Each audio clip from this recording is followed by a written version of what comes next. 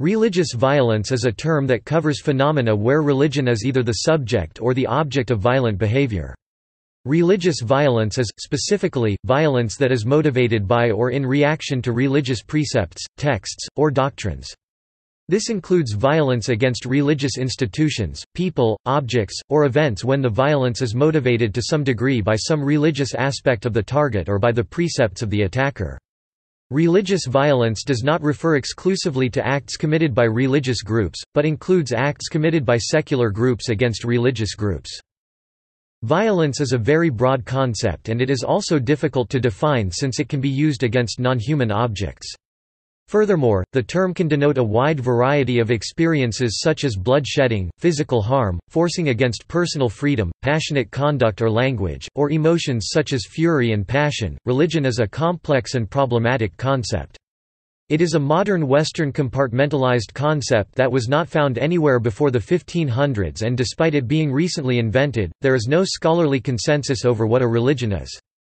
In general, religion is conceived as an abstraction which entails beliefs, doctrines, and sacred places even though the ancient cultures that wrote holy scriptures e.g. Bible, Quran, etc. did not have such a concept in their holy scriptures, language, or history. Decades of anthropological, sociological, and psychological research have shown that the assumption that religious beliefs and values are tightly integrated in an individual's mind or that religious practices and behaviors follow directly from religious beliefs, is actually rare. People's religious ideas are fragmented, loosely connected, and context-dependent just like in all other domains of culture and life. In general, religions, ethical systems, and societies rarely promote violence as an end in itself since violence is universally undesirable. At the same time, there is a universal tension between the general desire to avoid violence and the acceptance of justifiable uses of violence to prevent a greater evil that permeates all cultures. Religious violence, like all violence, is a cultural process that is context-dependent and very complex. Oversimplifications of religion and violence often lead to misguided understandings and exaggerations of causes for why some people commit violence and why most do not commit violence. Religious violence is primarily the domain of the violent actor, which may be distinguished between individual and collective forms of violence. Overall, religious violence is perpetrated for a wide variety of ideological reasons and is generally only one of the contributing social and political factors that leads to unrest. Studies of supposed cases of religious violence often conclude that violence is strongly driven by ethnic animosities rather than by religious worldviews. Recently, scholars have questioned the very concept of religious violence and the extent to which religious, political, economic, or ethnic aspects of a conflict are even meaningful. Some observe that the very concept of religion is a modern invention and not something that is universal across cultures or historical and thereby makes religious violence a myth. Since all cases of violence and war include social, political, and economic dimensions and since there is no consensus on definitions of religion among scholars and no way to isolate religion from the rest of the more likely motivational dimensions, it is incorrect to label any violent event as religious.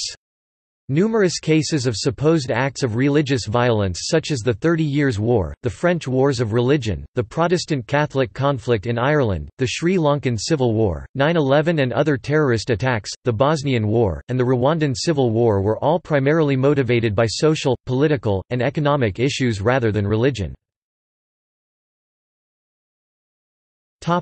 History of the concept of religion Religion is a modern Western concept. The concept of religion is not found anywhere before the 1500s.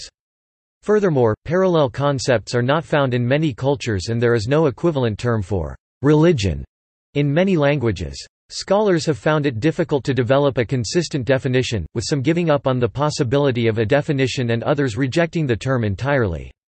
Others argue that regardless of its definition, it is not appropriate to apply it to non-Western cultures. The modern concept of religion as an abstraction which entails distinct sets of beliefs or doctrines is a recent invention in the English language since such usage began with texts from the 17th century due to the splitting of Christendom during the Protestant Reformation and more prevalent colonization or globalization in the Age of Exploration which involved contact with numerous foreign and indigenous cultures with non-European languages. Ancient sacred texts like the Bible and the Quran did not have a concept of religion in their original languages and neither did their authors or the cultures to which they belonged. It was in the 19th century that the terms, Buddhism, Hinduism, Taoism, and Confucianism first emerged. There is no precise equivalent of religion in Hebrew, and Judaism does not draw clear distinctions between religious, national, racial, or ethnic identities. Definition of violence Violence is difficult to define because the term is a thick concept in that it broadly carries a descriptive and evaluative components which ranges from harming non-human objects to human self-harm. Ralph Tanner cites the definition of violence in the Oxford English Dictionary as far beyond the infliction of pain and the shedding of blood. He argues that, although violence clearly encompasses injury to persons or property, it also includes the forcible interference with personal freedom, violent or passionate conduct or language, and finally passion or fury. Similarly, Abhijit Nayak writes, The word violence can be defined to extend far beyond pain and shedding blood. It carries the meaning of physical force, violent language, fury, and, more importantly, forcible interference. Terence Fretheim writes, For many people, only physical violence truly qualifies as violence. But, certainly, violence is more than killing people, unless one includes all those words and actions that kill people slowly.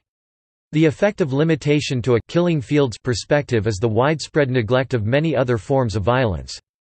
We must insist that violence also refers to that which is psychologically destructive, that which demeans, damages, or depersonalizes others.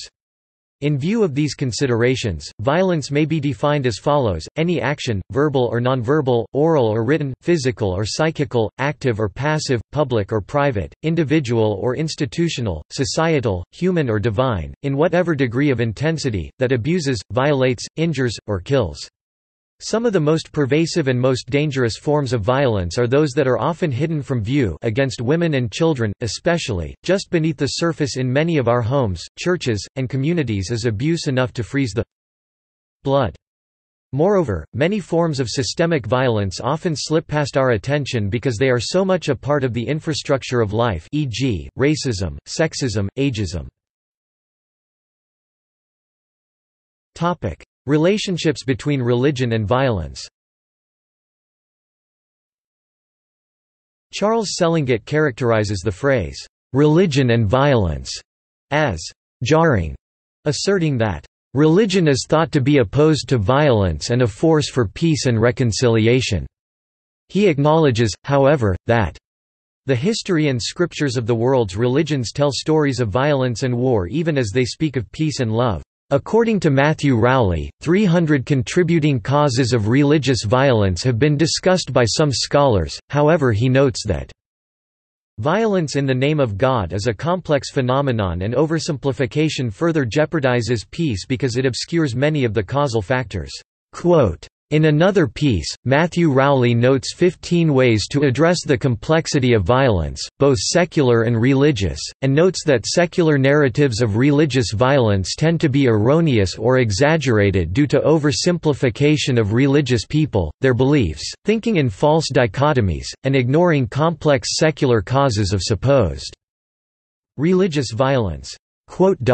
He also notes that when discussing religious violence, one should also note that the overwhelming majority of religious people do not get inspired to engage in violence. Ralph Tanner similarly describes the combination of religion and violence as uncomfortable, asserting that religious thinkers generally avoid the conjunction of the two and argue that religious violence is only valid in certain circumstances which are invariably one-sided. Michael Jerryson argues that scholarship on religion and violence sometimes overlook non-Abrahamic religions. This tendency provides considerable problems, one of which is the support of faulty associations. For example, he finds a persistent global pattern to align religious like Islam as a cause for violence and others like Buddhism as an explanation of peace. In many instances of political violence, religion tends to play a central role. This is especially true of terrorism, which sees violence committed against unarmed noncombatants in order to inspire fear and achieve some political goal. Terrorism expert Martha Crenshaw suggests that religion is just a mask used by political movements to draw support. Crenshaw outlines two approaches in observing religious violence to view the underlying mechanisms. One approach, called the instrumental approach, sees religious violence as acting as a rational calculation to achieve some political end. Increasing the costs of performing such violence will help curb it. Crenshaw's alternate approach sees religious violence stemming from the organizational structure of religious communities, with the heads of these communities acting as political figureheads. Crenshaw suggests that threatening the internal stability of these organizations perhaps by offering a nonviolent alternative will dissuade religious organizations from performing political violence. A third approach sees religious violence as a result of community dynamics rather than religious duty. Systems of meanings developed within these communities allow for religious interpretation to justify violence, and so acts like terrorism happen because people are part of communities of violence. In this way, religious violence and terrorism are performances designed to inspire an emotional reaction from both those in the community and those outside of it. While religion can be used as a means of rallying support for violence, religious leaders regularly denounce such manipulations as contrary to the teachings of their belief. Hector Avalos argues that religions create violence over four scarce resources, access to divine will, knowledge, primarily through scripture, sacred space, group privileging, and salvation. Not all religions have or use these four resources. He believes that religious violence is particularly untenable as these resources are never verifiable and, unlike claims to scare resources such as water or land, cannot be adjudicated objectively. Regina Schwartz argues that all monotheistic religions are inherently violent because of an exclusivism that inevitably fosters violence against those that are considered outsiders. Lawrence Weschler asserts that Schwartz isn't just arguing that Abrahamic religions have a violent legacy, but that the legacy is actually genocidal in nature. Challenges to the views that religions are violent. Topic: Behavioral studies. Decades of anthropological, sociological, and psychological research have established that Religious congruence the assumption that religious beliefs and values are tightly integrated in an individual's mind or that religious practices and behaviors follow directly from religious beliefs or that religious beliefs are chronologically linear and stable across different contexts is actually rare. People's religious ideas are fragmented, loosely connected, and context-dependent, as in all other domains of culture and in life. The beliefs, affiliations, and behaviors of any individual are complex activities that have many sources including culture. Myth of religious violence Others such as William Cavanaugh have argued that it is unreasonable to attempt to differentiate «religious violence» and «secular violence» as separate categories. Cavanaugh asserts that the idea that religion has a tendency to promote violence is part of the conventional wisdom of Western societies and it underlies many of our institutions and policies, from limits on the public role of churches to efforts to promote liberal democracy in the Middle East. Cavanaugh challenges this conventional wisdom, arguing that there is a myth of religious violence, basing his argument on the assertion that attempts to separate religious and secular violence are incoherent. Cavanaugh asserts, Religion is not a universal and transhistorical phenomenon. What counts as «religious» or «secular» in any context is a function of configurations of power both in the West and lands colonized by the West. The distinctions of «religious, secular» and «religious, political» are modern Western inventions. The invention of the concept of «religious violence» helps the West reinforce superiority of Western social orders to non-secular social orders, namely Muslims at the time of publication. The concept of religious violence can be and is used to legitimate violence against non-Western others. Peace depends on a balanced view of violence and recognition that so-called secular ideologies and institutions can be just as prone to absolutism, divisiveness, and irrationality. John Morreall and Tamara Sonn have argued that all cases of violence and war include social, political, and economic dimensions. Since there is no consensus on definitions of religion among scholars and no way to isolate religion from the rest of the more likely motivational dimensions, it is incorrect to label any violent event as religious. They note that since dozens of examples exist from the European wars of religion that show that people from the same religions fought each other and that people from different religions became allies during these conflicts, the motivations for these conflicts were not about religion.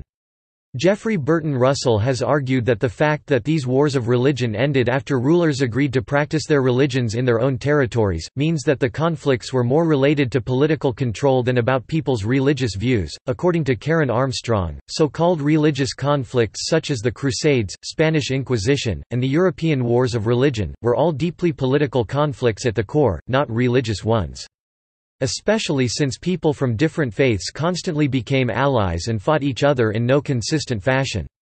She notes that the Western concept of separation of church and state, which was advocated first by the reformer Martin Luther, laid a foundation for viewing society as divided when in reality religion and society were intermixed to the point that no one made such distinction nor was there a defining cut between such experiences in the past. During the Enlightenment, religion began to be seen as an individualistic and private thing and that modern secular ideals like equality of all human beings, intellectual and political liberty were things that were historically promoted in a religious idiom in the past. Anthropologist Jack David Eller asserts that religion is not inherently violent, arguing, Religion and violence are clearly compatible, but they are not identical. He asserts that, Violence is neither essential to nor exclusive to religion and that virtually every form of religious violence has its non-religious corollary. Moreover, he argues that religion may be more a marker of the conflicting groups than an actual point of contention between them. John Teehan takes a position that integrates the two opposing sides of this debate. He describes the traditional response in defense of religion as drawing a distinction between the religion and what is done in the name of that religion or its faithful. Teehan argues, this approach to religious violence may be understandable but it is ultimately untenable and prevents us from gaining any useful insight into either religion or religious violence." He takes the position that, "...violence done in the name of religion is not a perversion of religious belief, but flows naturally from the moral logic inherent in many religious systems, particularly monotheistic religions." However, Teehan acknowledges that, "...religions are also powerful sources of morality." He asserts, religious morality and religious violence both spring from the same source, and this is the evolutionary psychology underlying religious ethics. Historians such as Jonathan Kirsch have made links between the European Inquisitions, for example, and Stalin's persecutions in the Soviet Union, Nazi Germany, McCarthy blacklists, and other secular events as being the same type of phenomenon as the Inquisitions. Others, such as Robert Pape, a political scientist who specializes in suicide terrorism, have made a case for secular motivations and reasons as being foundations of most suicide attacks that are oftentimes labeled labeled as religious. Pape compiled the first complete database of every documented suicide bombing during 1980–2003. He argues that the news reports about suicide attacks are profoundly misleading. There is little connection between suicide terrorism and Islamic fundamentalism, or any one of the world's religions. After studying 315 suicide attacks carried out over the last two decades, he concludes that suicide bombers' actions stem fundamentally from political conflict, not religion. Secularism as a response Byron Bland asserts that one of the most prominent reasons for the rise of the secular in Western thought was the reaction against the religious violence of the 16th and 17th centuries. He asserts that t he secular was a way of living with the religious differences that had produced so much horror. Under secularity, political entities have a warrant to make decisions independent from the need to enforce particular versions of religious orthodoxy. Indeed, they may run counter to certain strongly held beliefs if made in the interest of common welfare. Thus, one of the important goals of the secular is to limit violence. William T. Cavanaugh writes that what he calls, "...the myth of religious violence," as a reason for the rise of secular states may be traced to earlier philosophers, such as Spinoza, Hobbes, Locke, Rousseau, and Voltaire. Cavanaugh delivers a detailed critique of this idea in his 2009 book The Myth of Religious Violence, Secular Ideology and the Roots of Modern Conflict. Secular violence Topic: Religion and secular According to John Carlson, excessive attention is often paid to acts of religious violence compared to acts of secular violence that do occur. This leads to a false essentializing of both religion as being prone to violence and the secular as being prone to peace, despite the abundant examples of secular violence that have occurred. According to Janet Jakobsen, secularism and modern secular states are much more violent than religion. Modern secular states in particular are usually the source of most of the world's violence. Tanner notes that secular regimes and leaders have used violence to promote their own agendas. Violence committed by secular governments and people, including the anti-religious, have been documented including violence or persecutions focused on religious believers and those who believe in the supernatural. For example, in the 20th century, over 25 million believers perished from the anti-religious violence which occurred in many atheist states. According to Geoffrey Blainey, atrocities have occurred under all ideologies, including in nations which were strongly secular such as the Soviet Union, China, and Cambodia.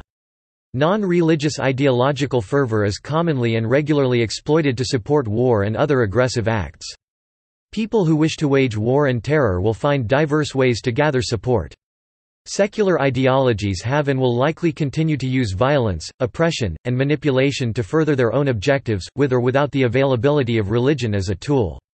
Wars that are secular in nature need no specifically religious endorsement and regularly operate with and without the support of non-religious ideologies. In addition, there exist few examples of wars waged for specifically religious reasons.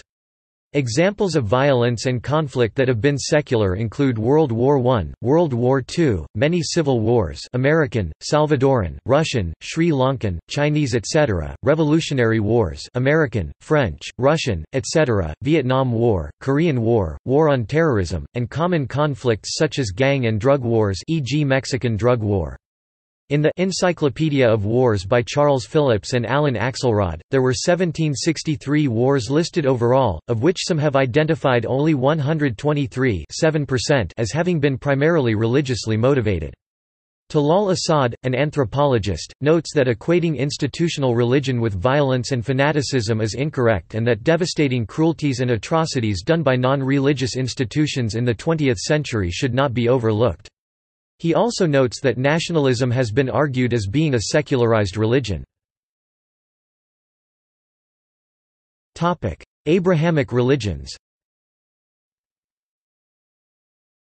Hector Avalos argues that, because religions claim divine favor for themselves, over and against other groups, this sense of righteousness leads to violence because conflicting claims to superiority, based on unverifiable appeals to God, cannot be adjudicated objectively. Similarly, Eric Hickey writes, the history of religious violence in the West is as long as the historical record of its three major religions, Judaism, Christianity, and Islam, with their involved mutual antagonisms and their struggles to adapt and survive the secular forces that threaten their continued existence.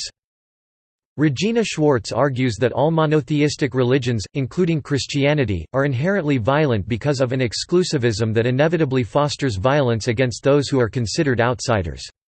Lawrence Weschler asserts that Schwartz isn't just arguing that Abrahamic religions have a violent legacy, but that the legacy is actually genocidal in nature. Bruce Feiler writes that, Jews and Christians who smugly console themselves by claiming that Islam is the only violent religion are willfully ignoring their past. Nowhere is the struggle between faith and violence described more vividly, and with more stomach-turning details of ruthlessness, than in the Hebrew Bible.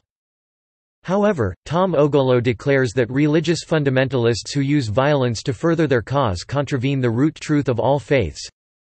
A genuine fundamentalist is also a radical, someone who tries to get the root of the matter.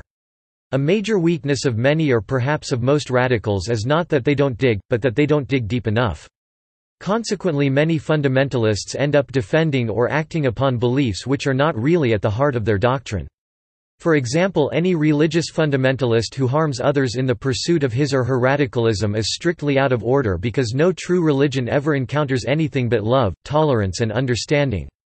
Thou shalt not kill is at the heart of all genuine faiths, certainly the three based upon Abraham and God.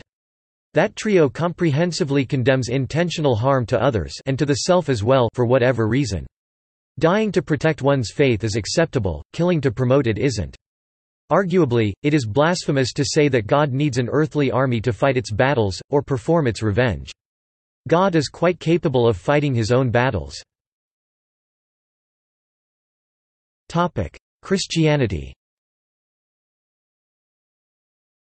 Before the 11th century, Christians had not developed a doctrine of «holy war», whereby fighting itself might be considered a penitential and spiritually meritorious act.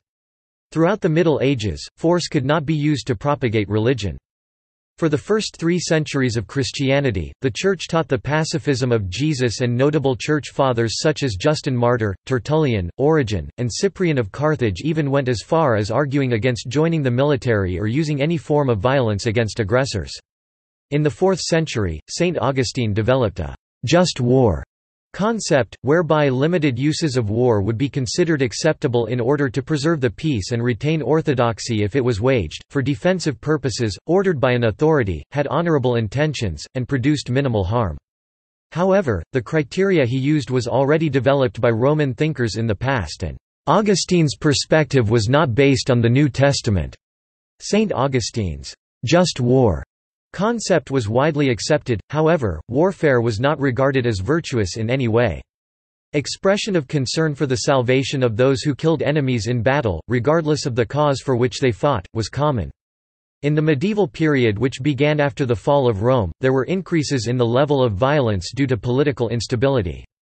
By the 11th century, the Church condemned this violence and warring by introducing the peace of God which prohibited attacks on clergy, pilgrims, townspeople, peasants and property, the «truce of God», which banned warfare on Sundays, Fridays, Lent, and Easter, and it imposed heavy penances on soldiers for killing and injuring others because it believed that the shedding of other people's blood was the same as shedding the blood of Christ. During the 9th and 10th centuries, multiple invasions occurred in some regions in Europe, and these invasions lead them to form their own armies in order to defend themselves. And by the 11th century, this slowly led to the emergence of the Crusades, the concept of holy war, and terminology such as enemies of God by the time of the Crusades. Despite all the violence during this period, the majority of Christians were not active participants but were more often its victims.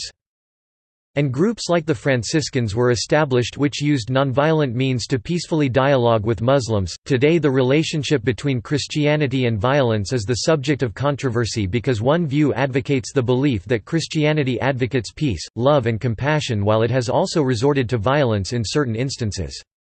Peace, compassion and forgiveness of wrongs done by others are key elements of Christian teaching. However, Christians have struggled since the days of the Church Fathers with the question of when the use of force is justified e.g. the just war theory of St. Augustine. Such debates have led to concepts such as just war theory. Throughout history, certain teachings from the Old Testament, the New Testament and Christian theology have been used to justify the use of force against heretics, sinners and external enemies. Heitman and Hagen identify the Inquisitions, Crusades, wars of religion, and antisemitism as being among the most notorious examples of Christian violence.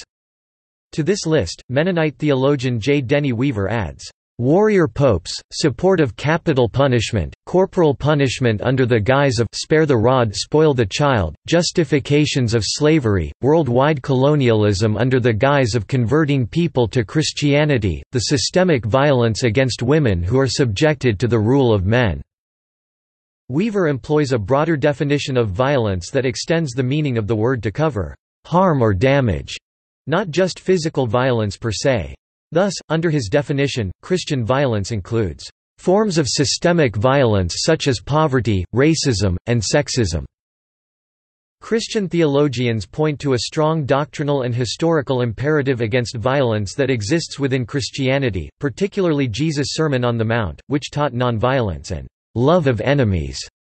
For example, Weaver asserts that Jesus' pacifism was preserved in the justifiable war doctrine which declares that all war is sin even when it is occasionally declared to be a necessary evil, and in the prohibition of fighting by monastics and clergy as well as in a persistent tradition of Christian pacifism. Many authors highlight the ironical contradiction between Christianity's claims to be centered on love and peace while, at the same time, harboring a violent side. For example, Mark Juergensmeyer argues that despite its central tenets of love and peace, Christianity—like most traditions—has always had a violent side. The bloody history of the tradition has provided images as disturbing as those provided by Islam or Sikhism, and violent conflict is vividly portrayed in the Bible. This history and these biblical images have provided the raw material for theological justifying the violence of contemporary Christian groups.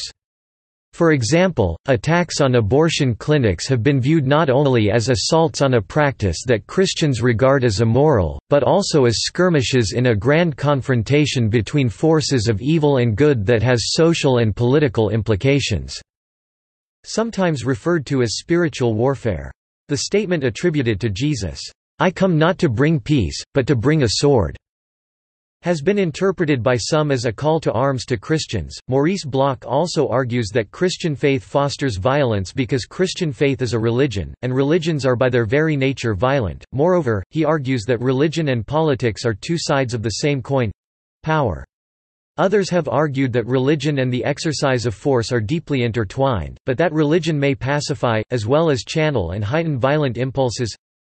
In response to criticism that Christianity and violence are intertwined, Christian apologists such as Miroslav Volf and J. Denny Weaver reject charges that Christianity is a violent religion, arguing that certain aspects of Christianity might be misused to support violence but that a genuine interpretation of its core elements would not sanction human violence but would instead resist it.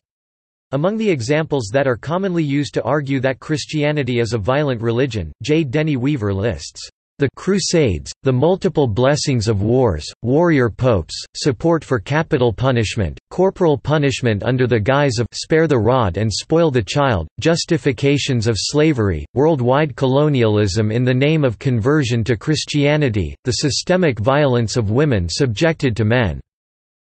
Weaver characterizes the counter-argument as focusing on Jesus, the beginning point of Christian faith, whose Sermon on the Mount taught nonviolence and love of enemies, who faced his accusers' nonviolent death, whose nonviolent teaching inspired the first centuries of pacifist Christian history and was subsequently preserved in the justifiable war doctrine that declares all war as sin even when declaring it occasionally a necessary evil, and in the prohibition of fighting by monastics and clergy as well as in a persistent tradition of Christian pacifism. Miroslav Volf acknowledges that Many contemporaries see religion as a pernicious social ill that needs aggressive treatment rather than a medicine from which cure is expected. However, Volf contests this claim that the Christian faith, as one of the major world religions, predominantly fosters violence. Instead of this negative assessment, Volf argues that Christianity should be seen as a contributor to more peaceful social environments.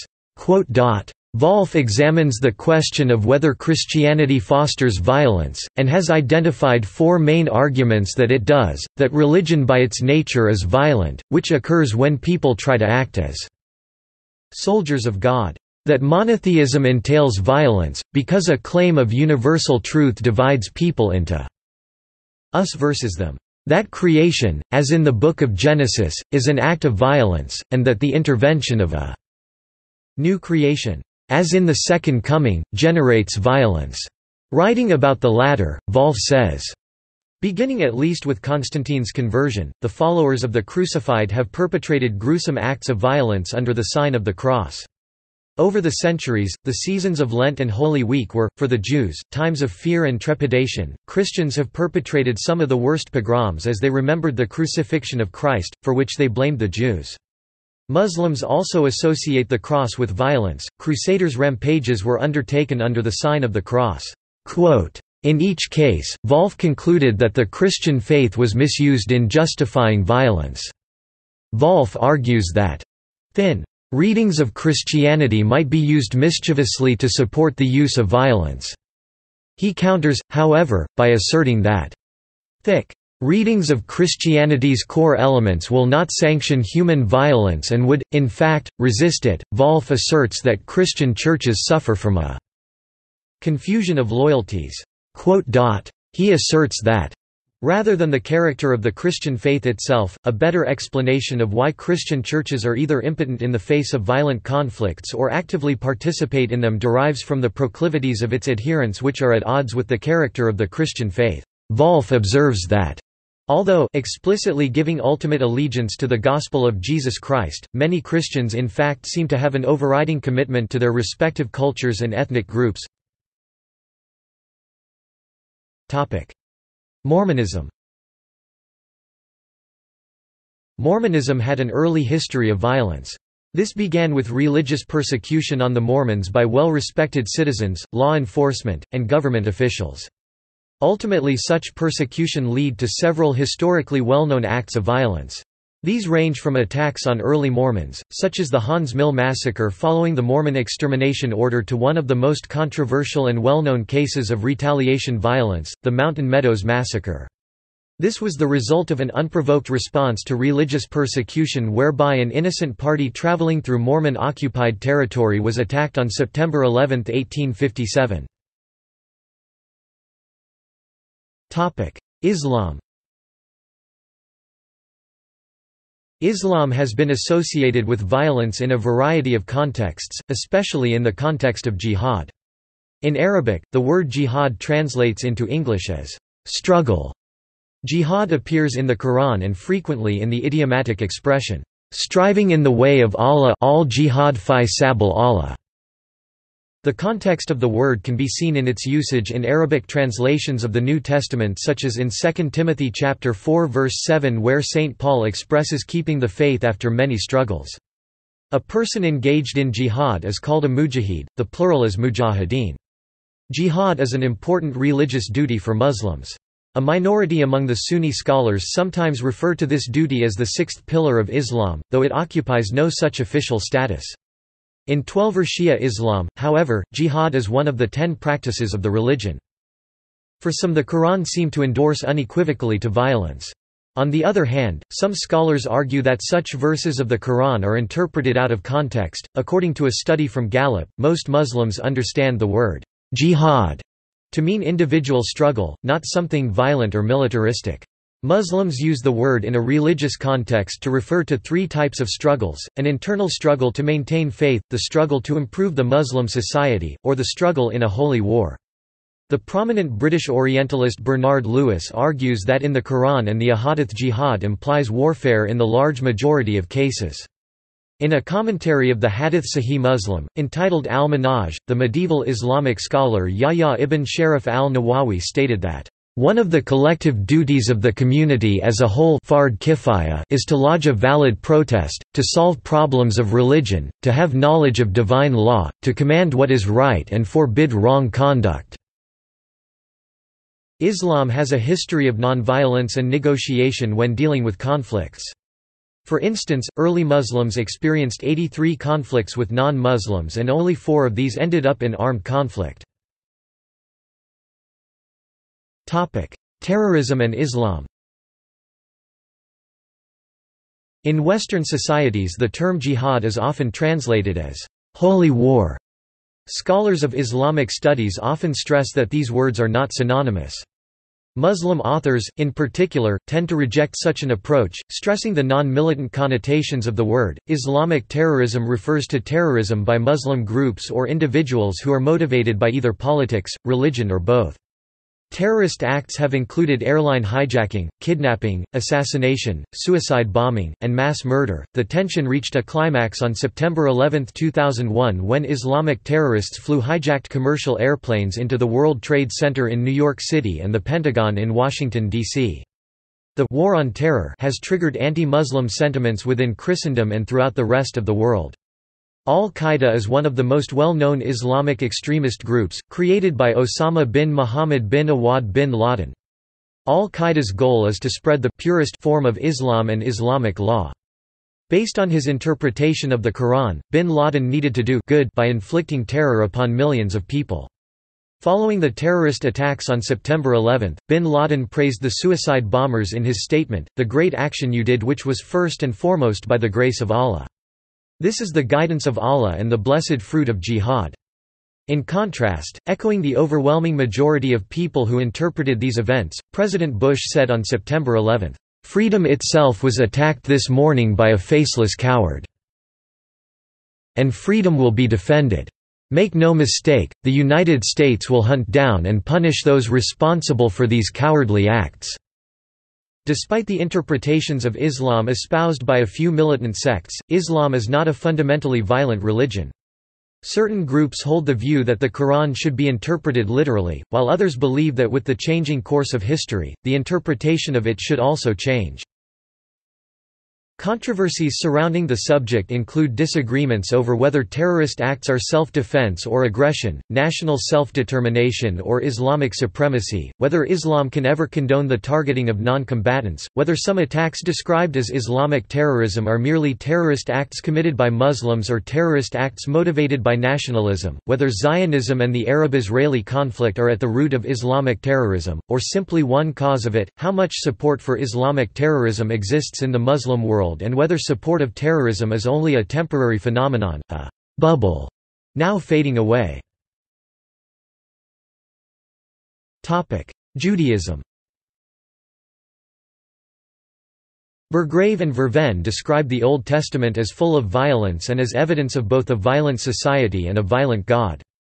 They write that I and numerous Old Testament texts the power and glory of Israel's God is described in the language of violence. They assert that more than 1,000 passages refer to YHWH as acting violently or supporting the violence of humans and that more than 100 passages involve divine commands to kill humans. On the basis of these passages in the Old Testament, some Christian churches and theologians argue that Judaism is a violent religion and that the God of Israel is a violent God. Reuven Firestone asserts that these assertions are usually made in the context of claims that Christianity is a religion of peace and that the God of Christianity is one who only expresses love. Some scholars such as Deborah Weissman readily acknowledge that normative Judaism is not pacifist and that violence is condoned in the service of self-defense. However, the Talmud prohibits violence of any kind towards one's neighbor. J. Patout Burns asserts that, although Judaism condones the use of violence in certain cases, Jewish tradition clearly posits the principle of minimization of violence. This principle can be stated as, "...wherever Jewish law allows violence to keep an evil from occurring, it mandates that the minimal amount of violence must be used in order to accomplish one's goal." The love of peace and the pursuit of peace, as well as laws requiring the eradication of evil, sometimes using violent means, coexist in the Jewish tradition. The Hebrew Bible contains instances of religiously mandated wars which often contain explicit instructions from God to the Israelites to exterminate other tribes, as in Deuteronomy chapter 7 verses 1 to 2 or Deuteronomy chapter 20 verses 16 to 18. Examples include the story of the Amalekites Deuteronomy chapter 25 verses 17 to 19, 1 Samuel chapter 15 verses 1 to 6, the story of the Midianites Numbers chapter 31 verses 1 to 18, and the Battle of Jericho Joshua chapter 6 verses 1 to 27. These wars of extermination have been characterized as genocide by several authorities, because the Torah states that the Israelites annihilated entire ethnic groups or tribes. The Israelites killed all Amalekites, including men, women, and children. 1 Samuel chapter 15 verses 1 to 20. The Israelites killed all men, women, and children in the battle of Jericho. Joshua chapter 6 verses 15 to 21, and the Israelites killed all men, women and children of several Canaanite tribes. Joshua chapter 10 verses 28 to 42. However, some scholars believe that these accounts in the Torah are exaggerated or metaphorical. Zionist leaders sometimes used religious references as a justification for the violent treatment of Arabs in Palestine. On several occasions, Palestinians have been associated with biblical antagonists, the Amalekites. For example, Rabbi Israel Hess has recommended that Palestinians be killed, based on biblical verses such as 1 Samuel chapter 15. Other religions Buddhism Hinduism Sikhism Neo-paganism In the United States and Europe, neo-pagan beliefs have been associated with many terrorist incidents. Although the majority of neo-pagans oppose violence and racism, folkish factions of Odinism, Wotanism, and Asatru emphasize their Nordic cultural heritage and warrior idealism. For these reasons, a 1999 Federal Bureau of Investigation report on domestic terrorism titled Project Megiddo described Odinism as lending itself to violence and having the potential to inspire its followers to violence. As of 2017, the Southern Poverty Law Center has recognized at least two active neo-pagan hate groups in the United States. Many WH white supremacists especially those in prison are converting to Odinism at increasing rates, citing the impurity of Christianity and the failure of previous groups to accomplish goals as the primary reasons for their conversion. Similarities between Odinism and other extremist groups such as Christian identity facilitate conversions. The targets of neo-pagan violence are similar to those of white supremacist terrorists and nationalist terrorists, but an added target includes Christians and churches. Notable incidents Murder of Alan Berg, defunct American white supremacist group The Order was founded by avid practitioners of Wotanism such as David Lane and Robert J. Matthews. Lane was convicted of the 1984 murder of Jewish radio host Alan Berg. Church burnings A wave of church burnings in Norway during the 1990s has been cited as an act of neo-pagan terrorism.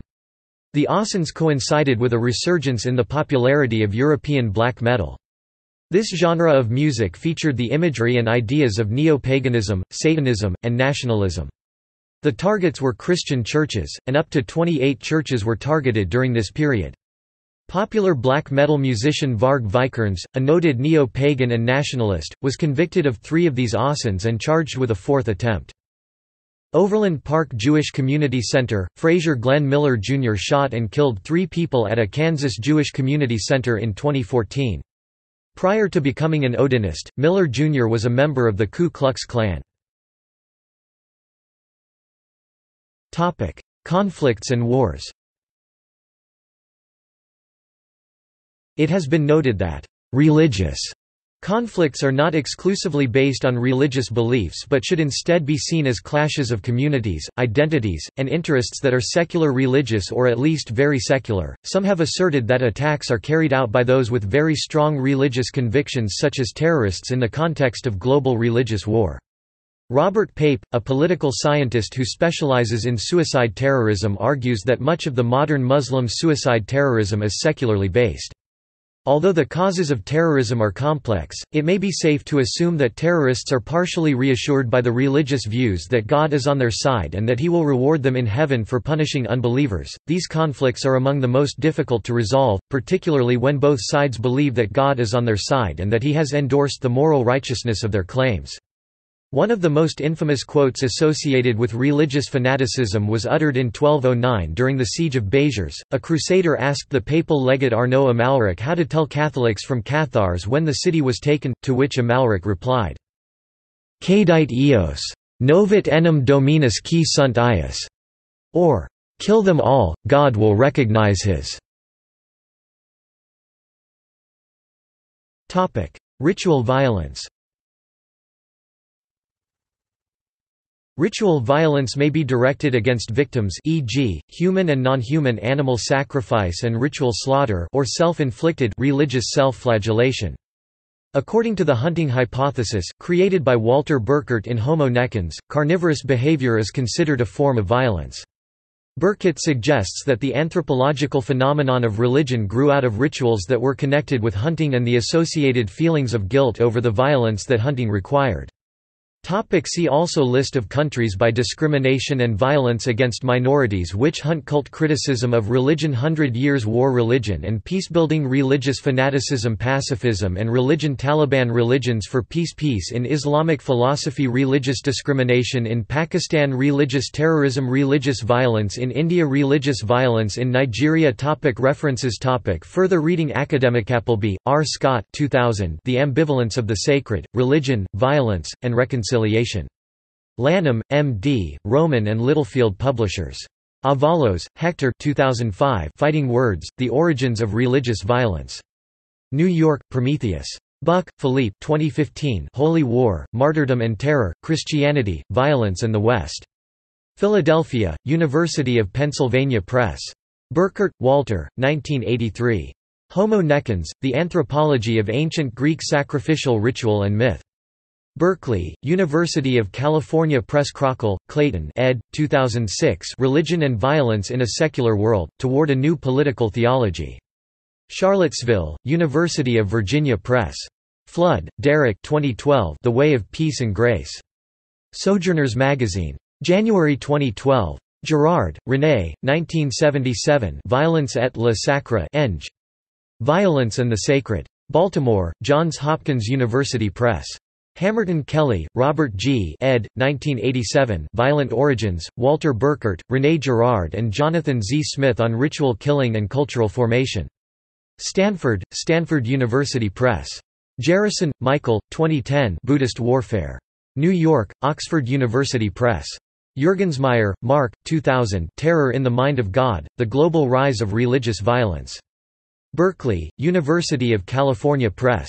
Juergensmeyer, Mark, Kitts, Margot and Jerryson, Michael ed. 2013 The Oxford Handbook of Religion and Violence. New York, Oxford University Press. Juergensmeyer, Mark, Kitts, Margot, Jerryson, Michael ed. 2016 Violence and the World's Religious Traditions, An Introduction. New York, Oxford University Press. Kitts, Margot 2018 Elements of Ritual and Violence. Cambridge, UK, Cambridge University Press.